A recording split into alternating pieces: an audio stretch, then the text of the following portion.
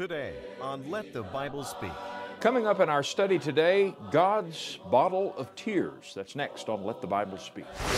From the Churches of Christ, Let the Bible Speak with Kevin Presley.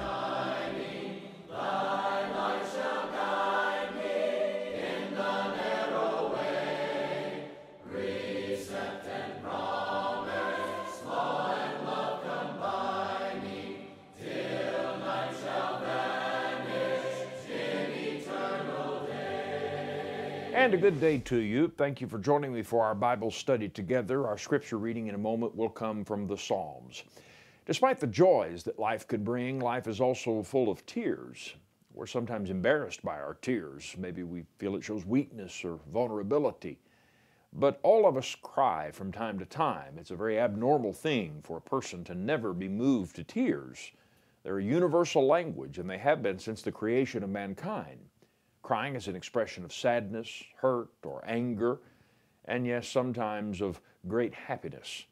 Tears can also provide relief and release from the emotions that are pent up inside of us. There are some who are easily moved to tears, others are stoic and they're able to hold back the urge to cry, but nearly every person cries from time to time. Well, there's a wonderful statement in the psalm that I want to talk to you about today, Psalm 56.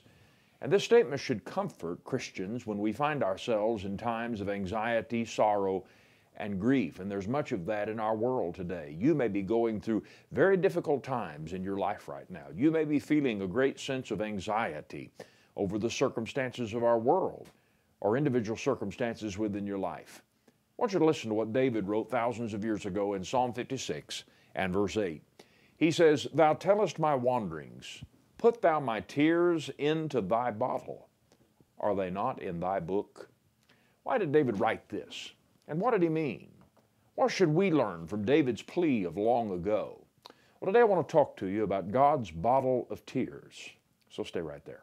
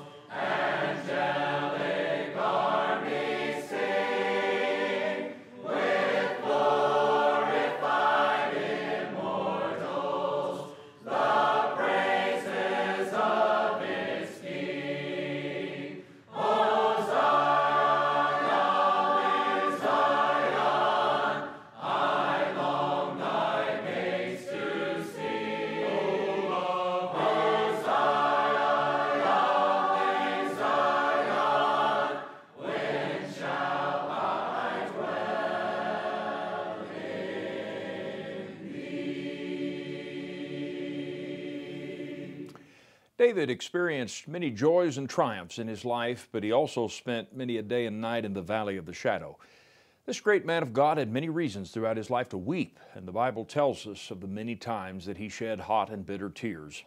Despite his great faith, despite his victories in battle, there were times when David was afraid and anxious. There were days when he felt betrayed by friends and family. He suffered the crushing blow of losing children to the hand of death, and remorse over his own sins nearly destroyed him emotionally and physically. Many of the Psalms were born out of these dark times in David's life, and they reflect a broken and grief stricken man and father who was reaching out to God in his distress and seeking comfort from above. But David's sorrows began when he was a young man, as a young shepherd. It was then he went through one of the darkest periods of his life. When he stepped out and volunteered to battle the taunting Philistine giant Goliath, and with a shepherd's sling and a handful of stones toppled the giant foe. Well, he became Israel's rising star. When he was presented to King Saul, the Bible says that Saul set him over the men of war, and he was accepted in the sight of all the people and in the sight of Saul's servants. And so from town to town, David's fame quickly spread until they were singing in the streets Saul may have slain his thousands, but David his tens of thousands. Well, Saul was not so carried away with David's newfound popularity. He was a very proud and egotistical man. He burned with jealousy and insecurity. From that day forward, the Bible says that Saul set his eye on David and tried to kill him. And this introduced a terrible period in David's life. For some time, he became a fugitive and he fled to the wilderness where he was relentlessly pursued by Saul. Well, those were dark times for David as he hid in the mountains and in caves and lived like a hunted animal. And at one point, he fled to the king of Gath in the enemy territory of the Philistines and was apparently held there until he finally escaped and went to Adullam. Those were stressful and fearful times for this young man. And as I say, some of the Psalms were born out of this period in his life. And Psalm 56, our text, is one of them. The heading or the superscription of this psalm claims that this is a psalm of David when the Philistines took him in Gath. Now, these superscriptions were not written by inspiration like the psalm itself was, but they do go back hundreds of years before Christ, and they even predate the Greek, Greek Septuagint. And it's certainly not difficult to imagine this psalm relating to the time that the superscription describes for David's pitiful plea depicts him as being under the attack of fierce enemies, being surrounded by armies, and he never had an army any fiercer and more unrelenting than Saul was.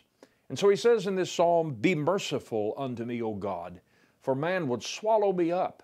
He fighting daily oppresseth me. Mine enemies would daily swallow me up, for they be many that fight against me, O thou most high. What time I am afraid, I will trust in thee. In God I will praise his word. In God I have put my trust. I will not fear what flesh can do unto me. Every day they wrest my words. All their thoughts are against me for evil. They gather themselves together. They hide themselves. They mark my steps when they wait for my soul. So you can see how this psalm could have been born out of this traumatic time in David's life as he was being pursued by the armies of Saul.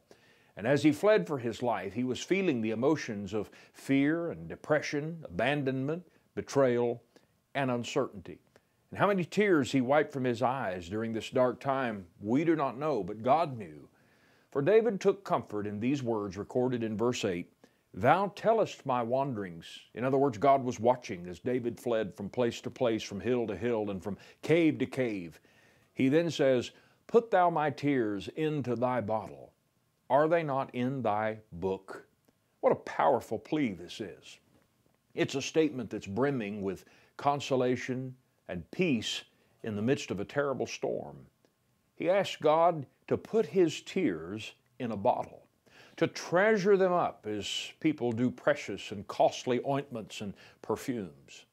David found solace in the fact that God saw his tears and made a note of every tear that fell from his eyes. And the Bible indeed teaches that God does see the tears and he hears the cries of his faithful people. You may recall how 2 Kings chapter 20 tells how the good king Hezekiah became gravely ill and the prophet Isaiah came to see him and told him that God said he needed to set his house in order because he would soon die. But Hezekiah had unfinished business, and the Bible says that he turned his face to the wall and he pleaded with the Lord to spare his life, saying, I beseech thee, O Lord, remember now how I have walked before thee in truth and with a perfect heart, and have done that which is good in thy sight. And Hezekiah wept sore, the Bible says. Isaiah had barely left the room when the voice of God came to him and told him to go back and tell Hezekiah, Thus saith the Lord, the God of David thy father, I have heard thy prayer, I have seen thy tears.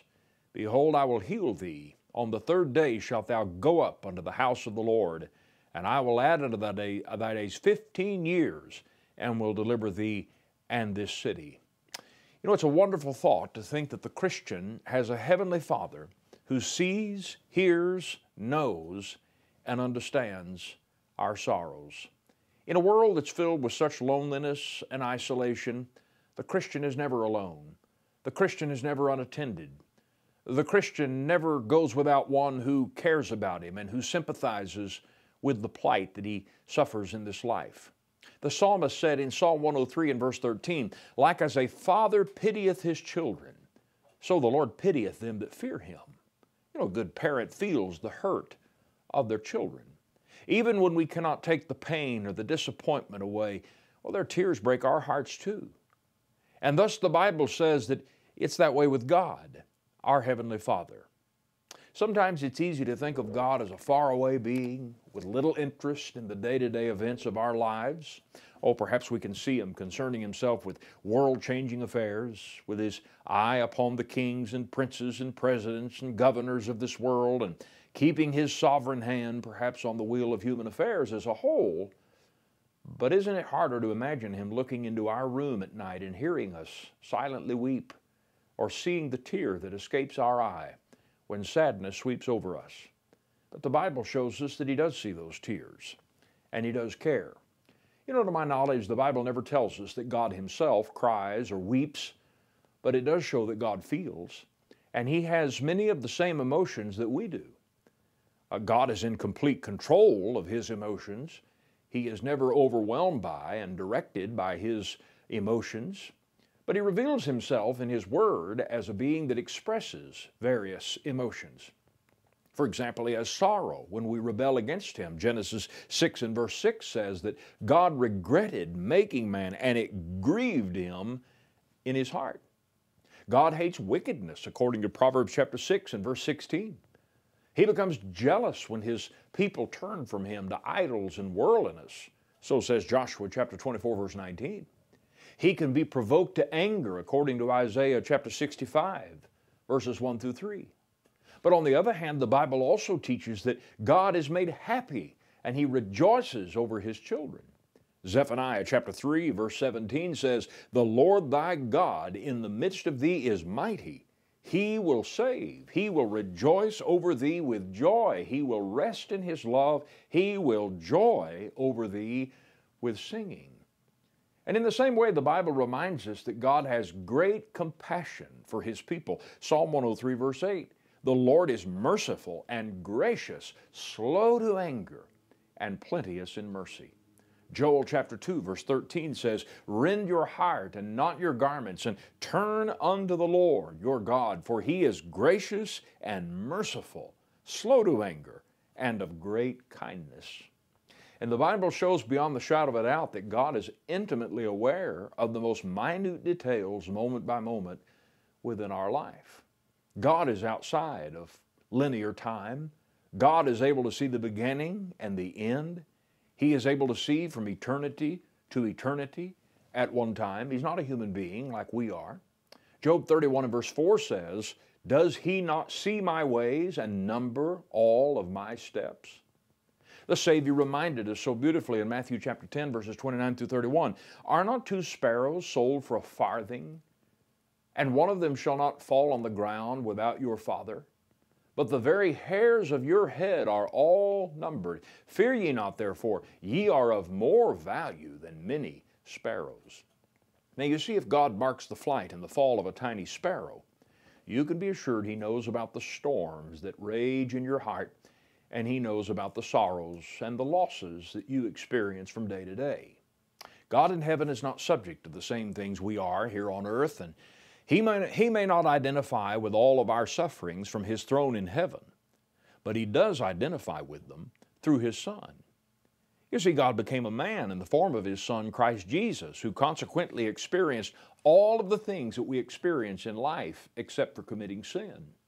The Bible says he knew or did know sin, but he did come into a world under the curse of sin. And as the Son of Man, he was subjected to sorrow. He grappled with grief. He keenly felt the sting of death. He knew what it was to be betrayed by friends and be pursued by enemies. He knew what it was to be cursed and who it how it was to be talked about and railed against and falsely accused and represented. He knew what it was to suffer physical pain. No pain was ever felt by any human any more than the cross that Jesus endured. Hebrews chapter 4 and verse 15 shows us that he felt the full spectrum of human emotions that we feel. The writer says, For we have not an high priest which cannot be touched with the feeling of our infirmities, but was in all points tempted like as we are, yet without sin. One translation says, We do not have a high priest who is unable to empathize with our weaknesses. Now, to, empathize means to put oneself in another person's position, to feel what they are feeling. We sometimes use the word sympathize. And basically, that implies that we come alongside someone else and at the same time with them, we offer emotional support, we grieve with them. We support them. You know, that's one of the greatest comforts that we receive in life from others. It's wonderful when tragedy befalls our lives or when we're going through difficult times to have people to offer their assistance in whatever way they can help. It's a wonderful comfort to know that people are standing by and ready to do whatever they can and just to express their sorrow and their condolences on our behalf. But isn't there something more powerful when a friend can identify with our suffering. I mean, people mean well when they express condolences and offer to help, but there's a special bond and a special kind of help that comes from someone who has walked the same path we are walking. When someone could put their arm around you and say, I know what it's like to lose a child, or I know how it feels to be sick or to have cancer. I know the loss of seeing your house destroyed by a fire.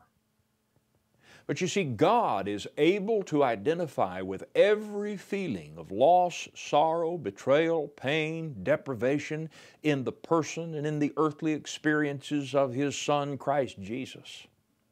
And consequently, the Gospels record a number of occasions when Jesus Himself shed tears.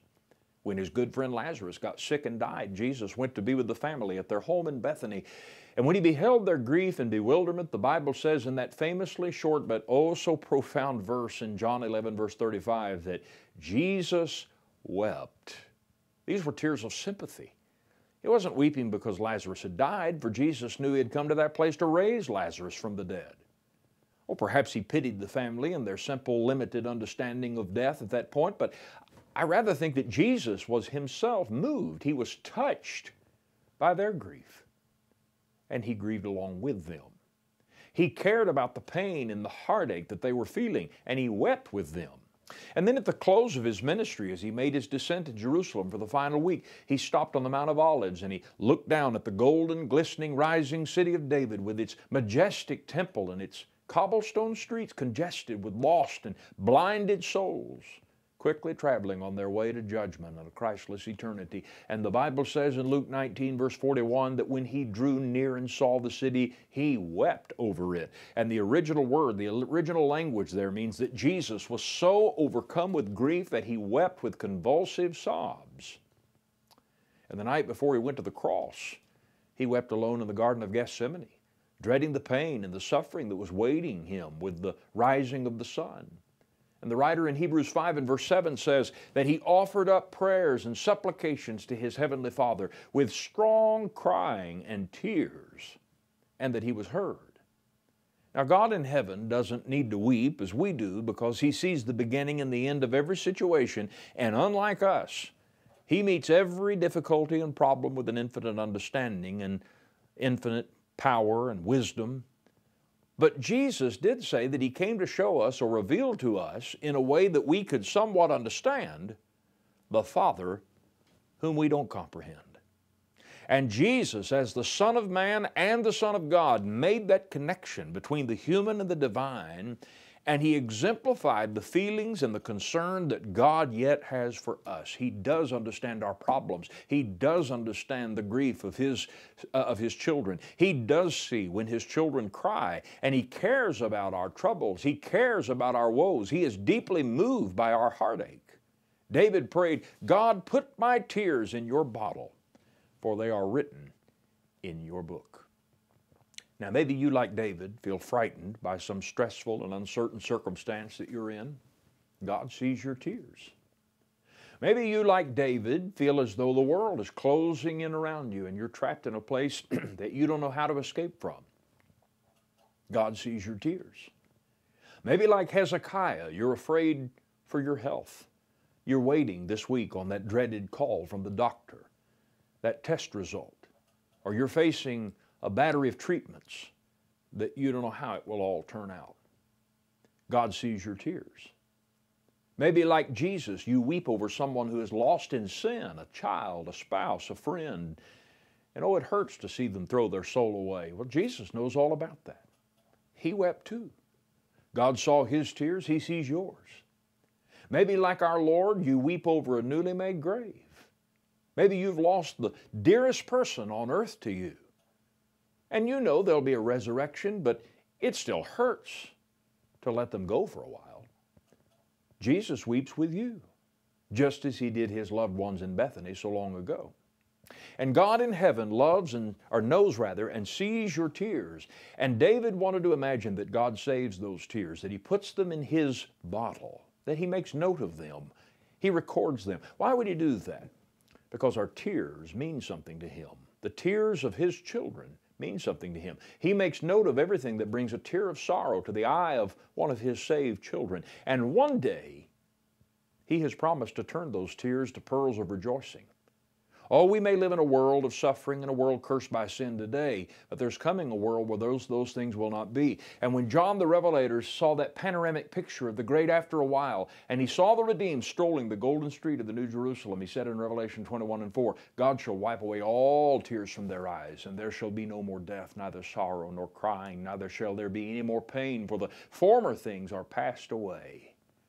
Yes, beyond this veil of tears, there is a happier tomorrow for the Christian. Beyond the suffering of this life, there is the eternal crown of rejoicing for the faithful Christian. But for the one that does not know Christ, this sorrowful and sinful life will end in judgment and eternal regret and an everlasting home in the caverns of the doom where there will be weeping and gnashing of teeth, the Bible says. In Christ there's comfort, peace, and hope. And I hope today that you'll come to Him for the comfort only He can give. Yeah.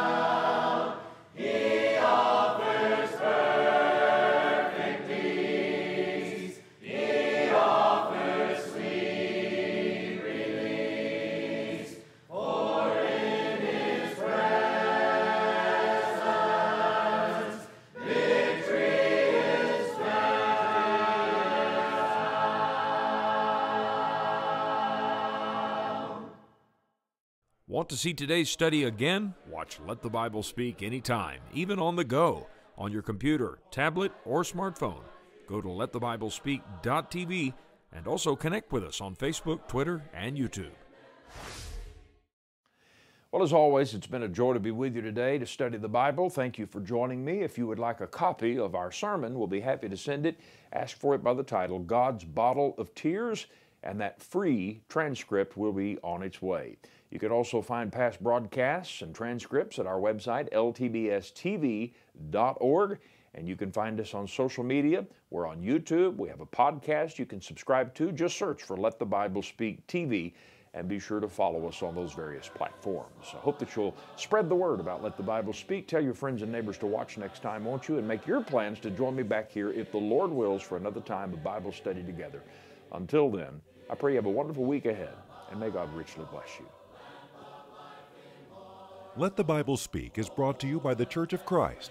For more information, including our past broadcast and sermon transcripts, visit ltbstv.org.